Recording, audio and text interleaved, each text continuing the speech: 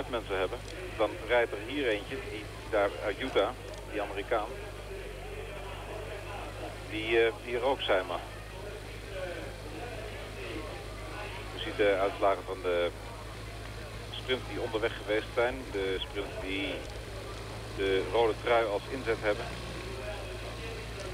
Bij de eerste seconde van de velden en Zonneveld zich nog meten. Maar later was hun rol uitgespeeld. Zonneveld overigens ook een der eerste verlosten vandaag. Beetje onrustig wat uh, Greg LeMond hier aan het doen is.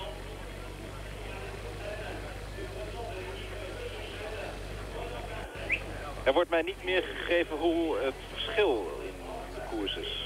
Hoe het verschil ligt tussen de nummers 1 en 2 en 3 en 4. Dus tussen deze twee duootjes.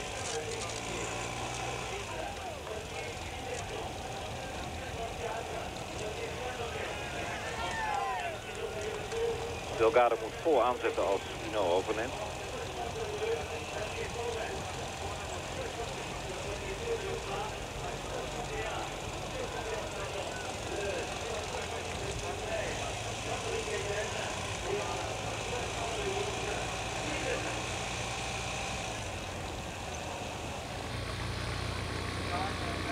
En Lamont maakt daar toch vaart.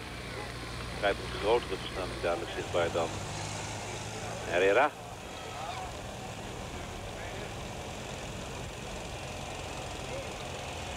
En deze twee hebben elkaar uh, ook goed gevonden. Delgado is uh, zeker niet vies om uh, mee te werken aan kop. Maar de aflossingen van Ino zijn langer en krachtiger. Kijken hoe hier de samenwerking is. Die kleine vlooi uit Colombia.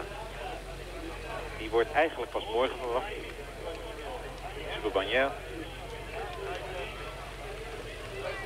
Maar je kan in zo'n grote etappe kan je natuurlijk niet op reserve gaan rijden. Zij zijn nu over die streep daarboven. En nu rest hen slechts een dikke 5 kilometer. Naar de streep in Po.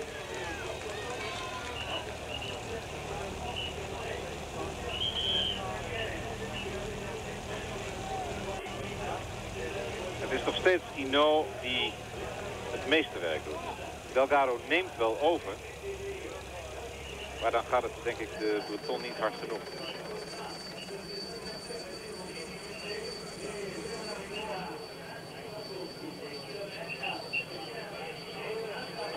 Weer een Spanje-Frankrijk confrontatie. Zoals we die ook gezien hebben met Bago en Sarapio. Daar werd nogal wat over gezegd. Van Spanjaard die meerijdt en dan niet laat winnen. Ik ben benieuwd hoe zij dat doen. Ik acht die nodig is staat om met groot masseltoon een pure sprint van te maken hier. Want zijn eerste, dat heb ik al benadrukt, drijft ver. Hij was heel rustig vanochtend bij de start. Bleef lang in zijn auto zitten. Daar is Schuiten. Ploegleider van Delgado. Zo heeft hij het zich gedroomd, denk ik. Als ik Delgado neem, dan kom ik in grote rondes op het eerste plan te rijden. Hij heeft er even op moeten wachten. Viel in Spanje viel het geweldig tegen wat Delgado liet zien. En in Zwitserland was het ook niet bijster. Maar op het moment dat Hino toch de Tour de France in de fik steekt, is Delgado in zijn wiel. Andere mensen die vandaag goede indruk hebben gemaakt. Grigillon, Van Sek, Caritou, zeker in de eerste 100 kilometer van de koers. En zeker bij de eerste beklemmingen. En die gekke Amerikaan Gruel, die toen de eerste 100 kilometer zeer actief, zeer goed de berg op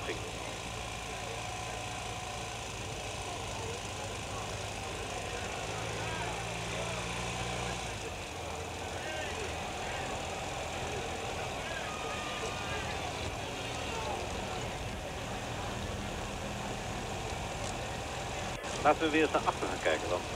Misschien is dat interessant om te zien hoe de inspanning van Le Mans verloopt.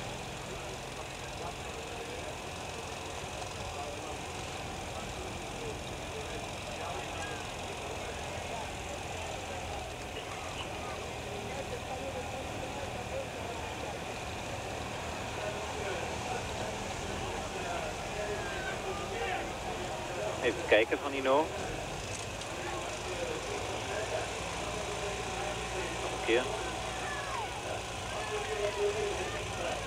Die zij wel krijgen en wij hier niet hebben, namelijk de voorsprong. En het zal de heren ook interesseren de voorsprong op wie. Want ik denk niet dat het in het draaiboek staat van de ploeg van Ino dat Le Mans is gedemareerd. We gaan naar de laatste sprint voor secondes. Ach, die kan hier rustig meepakken.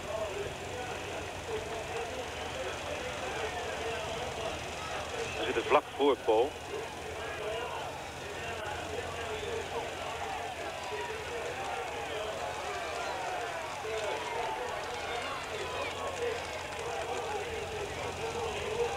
Denk dat niet velen gedacht hebben dat het vandaag al gespeeld zou worden, het grote spel. Natuurlijk, het was een op voorhand zware etappe.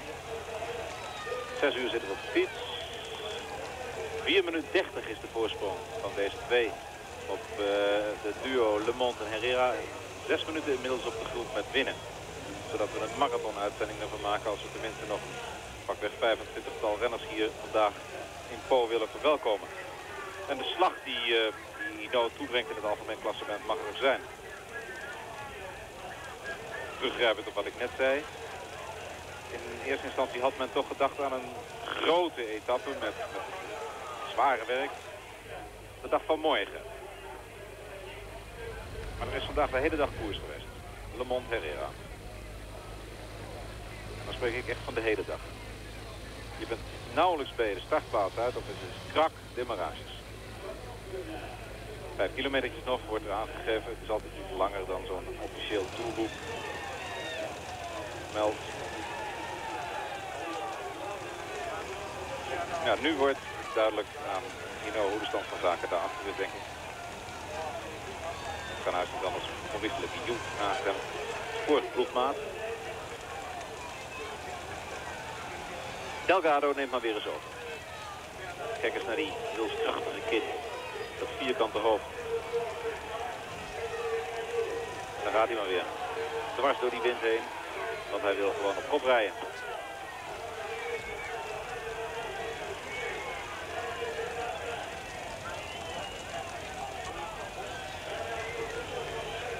We komen Po binnen. Klein kluchtje, bochtje naar rechts. Minder dus dan die vijf. Die vijf golf waarschijnlijk voor het andere duo. 1 kilometer voor de twee. En dan gaan we eens een rustige balans opmaken van datgene dat er vandaag gebeurd is als we zo alle renners hier langs gaan zien komen. Naar boven toe door die uh, mooie straten heen. Delgado probeert het. Delgado op een kleinere versnelling gaat op 800 meter voor de finish. En Hino zet aan, rijden zeker twee tanden groter. En komt terug in het wiel bij Delgado. Delgado zet door. Maar hij weet inmiddels dat die nodig is. En kijk eens wat een fantastische wielrenner dit nog is. Dan meteen niet in dat wiel blijven zitten, maar die kop gewoon overnemen. We zitten nu vlak bij de finish op een groot plein. Je vaak tegenkomt in Frankrijk. En daar rijden we in carré-vorm rijden we een blokkie. Markthallen in het midden, cafés aan de zijkant.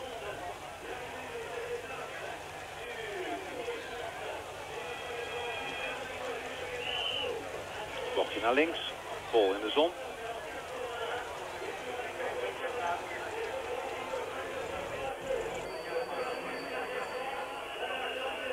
Nog een bochtje, bochtje naar links en dan op de finish af.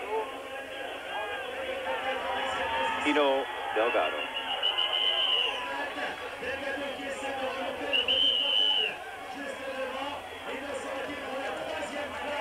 Eens, Hino laat het lopen.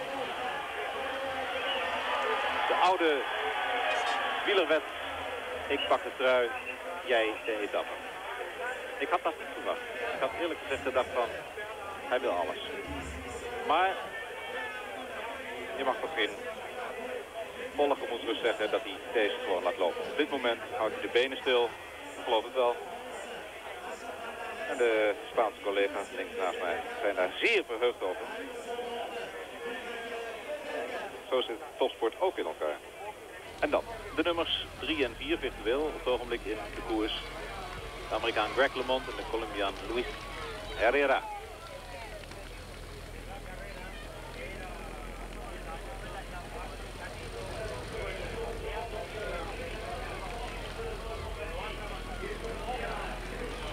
Die bij de sprint zich gaan melden.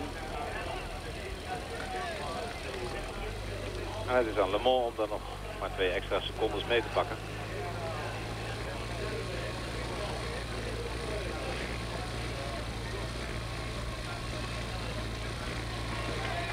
Maar hij laat kop over aan Herrera.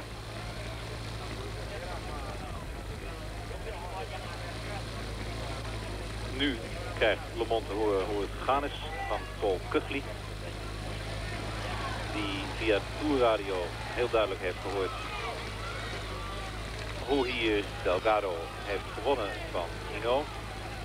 In iets wat je niet een sprint kan noemen. En nu is het zaak voor Le Mans om op de tweede plaats in het algemeen klassement te komen. En daar voor lange tijd te blijven. Maar hoe lang?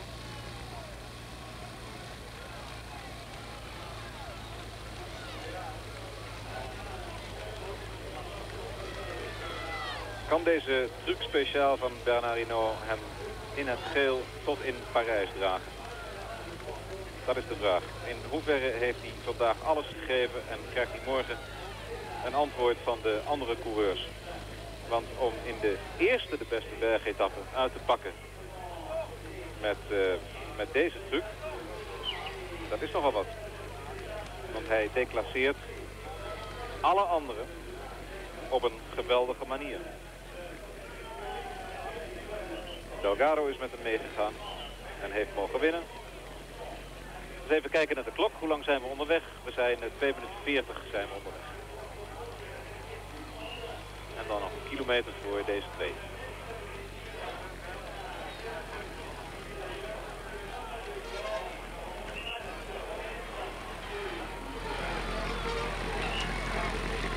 De mond heeft nog wel een beetje open.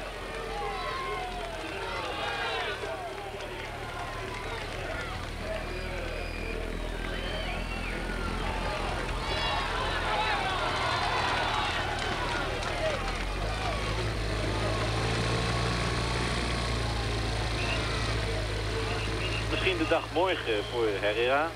Als we bergop gaan arriveren. Maar ik herhaal het nogmaals, hij heeft vandaag een niet al te sterke indruk op me gemaakt. Zeker niet toen het ging op bergop fietsen. Toen was hij, nadat hij het even geprobeerd heeft, een volger in de groep. Waar toen Robert Miller een tempo maakte.